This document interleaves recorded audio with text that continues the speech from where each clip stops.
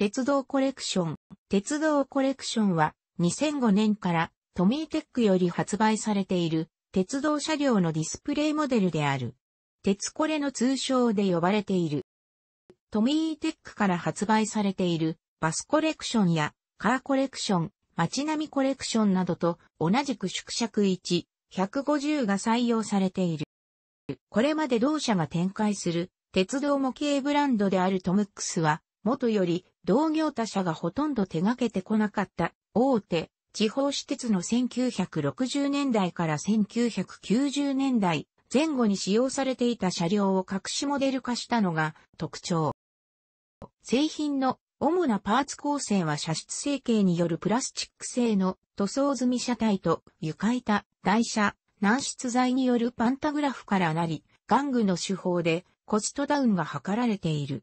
これにディスプレイ用のダミーレールと封入された車両の名板がついた台座が付属する。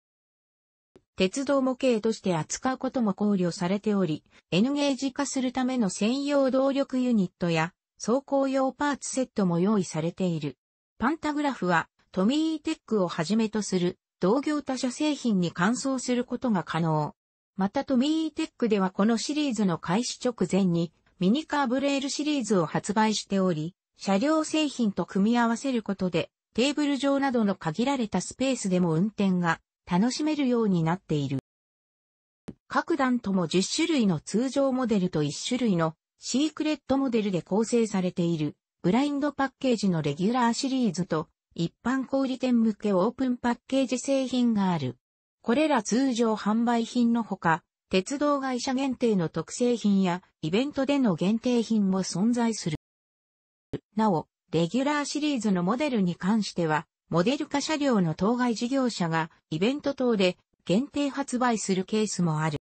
レギュラーシリーズ第1弾、第2弾では、2種類のフリーランスと食モデルと1種類の会社を特定しない二軸貨車の2両セットが存在する。なお、このフリーにはトミーの TOMY の4文字をあしらったオリジナルのシャモンが入っている。2005年11月発売。フリーの図色は、小豆ロチ、窓周り肌色。パンタグラフは、全車両 PS13 が推奨されている。2006年3月発売。フリーの図色は、茶色地、窓周りクリーム色。パンタグラフは、全車両 PS13 が推奨されている。2006年9月発売。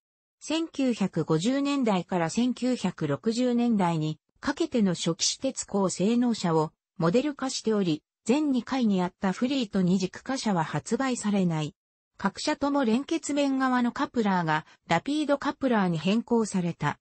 パンタグラフは小田急2200型には PT4212SAM が南海21001系には PG16 が推奨されている。2007年3月発売、17メートル救急型国電などがモデル化された。パンタグラフは全車両 PS13 が推奨されている。2007年10月発売。私鉄の20メートル級電車をモデル化。ディスプレイ用レールのパーツ構成が変更され、台座、線路、車止め一体成形で連結可能なものになっている。また、台車止めピンの色が黒からグレーに変更され、動力車化用の台車枠パーツが同梱されている。パンタグラフは、阪神3301系及び、越前鉄道 MC2200 型には、PT4816AM が、その他の車両には PS16P が推奨されている。2008年1月31日発売。地方私鉄の17メートル級車体更新車をモデル化。パンタグラフは全車両 PS13 が推奨されている。2008年6月発売。私鉄の20メートル級電車をモデル化。パンタグラフは西武451系各種及び大井川鉄道1000系には PS16P が南海及び広南鉄道1521系には PG16 が推奨されている。2008年9月発売。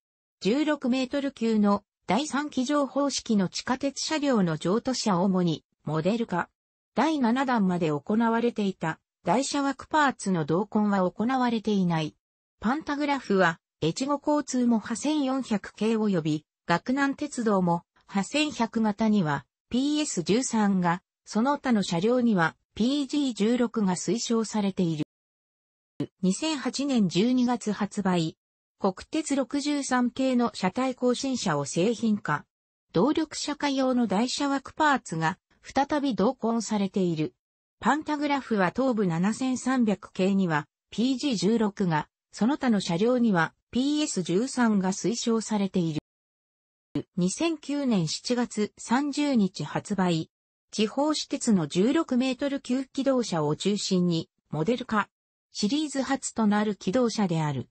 エンジンが別パーツとなり、動力車化用の台車枠パーツが同梱される、新潟交通区派37を除く。2010年1月発売。元、京王帝都電鉄初代5000系から改造され、各地に譲渡された車両と、元、名鉄5200系から改造された車両を、モデル化。パンタグラフは、全車両 PG16 が推奨されている。2010年9月発売。15メートル級及び16メートル級の中、小私鉄車両を主にモデル化。2011年3月発売。20から20.5メートル級の私鉄機動車をモデル化。2011年8月発売。運輸省規格型 A 型に準拠した求め鉄3800形状都車と各事業者の自社発注車両を製品化。2012年3月発売。富士重工業製造のレールバス LE カー E シリーズを製品化。2012年11月発売。日本車両製造が1950年代後半から1970年代にかけて地方私鉄向けに供給した電車を発売。2013年4月発売。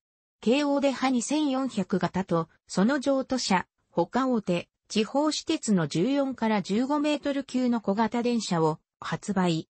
京阪、上田、琴電の各車種については、構造上の都合として、車内の床板、シート表現パーツが省略されている。2013年9月発売、20メートル級の地方私鉄車両をラインナップ。元南海1万1001系の軽服も、派3001系以外は自社発注車両。2014年3月発売。新潟鉄工所製の NDC18 メートル級ディーゼルカー。2014年12月発売、2015年8月発売、2016年3月発売。国鉄、私鉄の湘南型全面の機動車を中心として集めている。キハユ25系、16型は動力化非対応。2016年9月発売。私鉄電車を集めている。2017年2月発売。JR 発足30周年を控え、国鉄型の車両をラインナップした。テーマは、東西の旧型電車。2018年3月発売。テーマは、ローカル線のステンレス電車。東武鉄道に譲渡されて貨物運用に使用された本機をモデル化。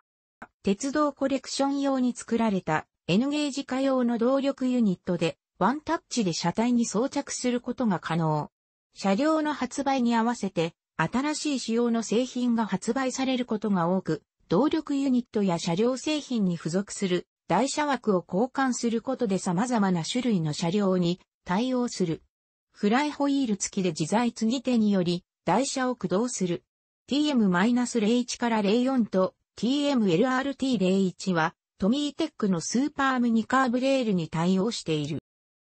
メーカー推奨オプションであるトミーテック製のパンタグラフに加え、同業他社である、赤水金属製やグリーンマックス製の各種パンタグラフも取り付けることが可能。